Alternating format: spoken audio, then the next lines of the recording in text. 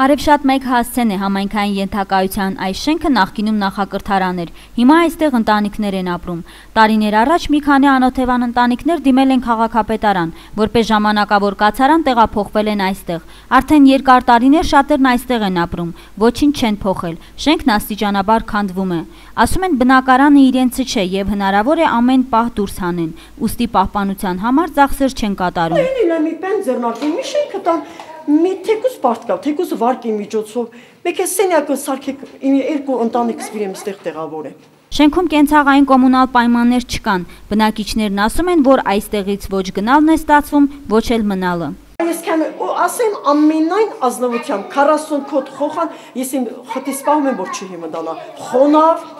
փեդի շենք, դա ինչ։ Տարիներ շարունակ բնակիչները բարձրաձայնում են այս խնդրի մասին, դժգոհում են սեփականաշնորհել էլ առայժմ չի լինի։ Անորոշ իրավիճակը հիմա էլ շարունակվում է։ Ամեն դեպքում այդ հարցը լուծիլ է պետք է։ Դե բյան ժողովրդին ստեղ արա սապեն է։